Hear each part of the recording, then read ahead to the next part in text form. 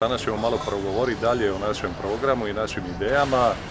Važno je na početku istaknuti jedna stvar koja zapravo me tišti, koju moram izreći. Dugo sam razmišljao o tome, svi su mi na ulazku u ovu priču, u ovu borbu, recimo to tako pod navodnike, kazali da te očekuje glib, blato, kaljuža, cirkus i tako i da ono pitaju se što mi to treba.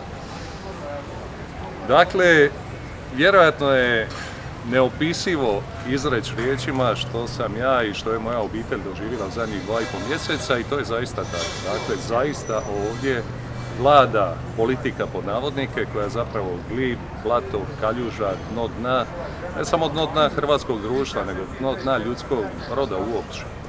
Ali ništa, to nas neće pokolebati, to treba izdržati. Meni je žao što moja familija mora ispaštati zajedno sa mnom, ali to meni daje malo više motiva i više borbenosti za ovo. Ja naime vjerujem u drugčije društvo, ja vjerujem u drugčiji Split. Zato sam tu. Upozoriti na laži, prevare, obmane i na ovaj sustav vrijednosti koji ni po čemu nije moj. Razloge e, raspisivanja prijevremenih izbora od strane gospodina Puljka u vrijeme kad je to njemu naravno najviše odgovaralo i skrenuti pozornost na neke maske koji su u ovom procesu zapravo pale. Gospodin Puljak je rekao jučer kako je odlučio krenuti u prijevremene izbore iz razloga što želi postaviti referendumski pitanje građanima grada Splita e, poštuju li i podržavaju li smjer kojim se krenulo kroz proteklih godinu dana. Kad gledamo referendumski, e, znamo koliko je građana izišlo na izbore, e, njemu je podršku dalo u postocima nekakvih 15% građana. Dakle, 85% građana nije, a čak 70% građana nije niti izišlo na izbore. Zašto? Ne znamo.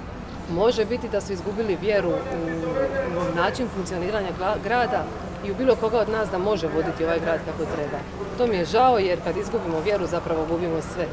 Most je to na svom primjeru zorno prikazao, pa je gubeći vjeru u svoje ideale i ideale birača koji to nose, zapravo sklopio jednu suradnju i pružio ruku politikama koje nisu u skladu s njihovim vrijednostima, odnosno lijevim politikama. To su građani naravno i prepoznali i zato su oni dobar dio svojih mandata izgubili.